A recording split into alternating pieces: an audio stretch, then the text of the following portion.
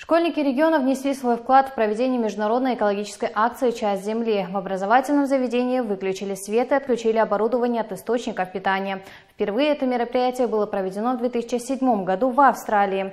Затем количество участников экологической акции увеличилось, и она стала событием мирового масштаба.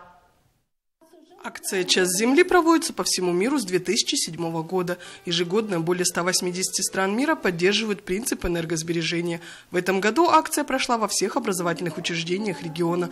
Участвовали около 500 учеников. Специалисты разъяснили им важность сохранения климата планеты, заботы о природных ресурсах и защиты окружающей среды. Э, Когда свет гаснет на один час, энергоресурсы всего мира и нашей страны используются эффективно.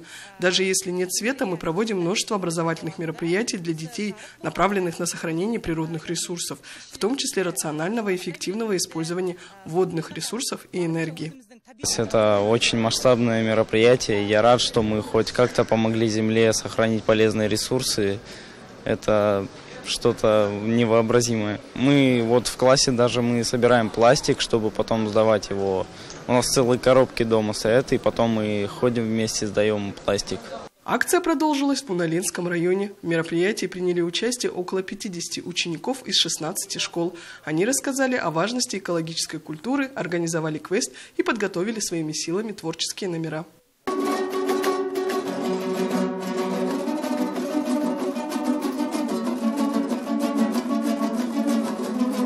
Шара аясында осы жарықты сөндіріп В рамках мероприятия мы говорили о важности отключения электроэнергии и ее экономии в будущем. Конечно, свет важен для нас, но его использование реализуется за счет использования разных химических элементов. В конечном итоге это оказывает негативное влияние на нашу экологию.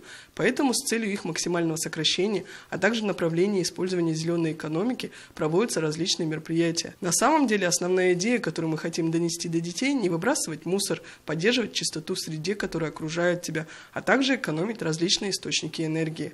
Следует отметить, что мангистаутцы на протяжении последних пяти лет активно участвуют в акции «Часть земли», а наша страна проводит это мероприятие уже в 15 раз. Асель Канширова, Ролан Метулы, Дидар.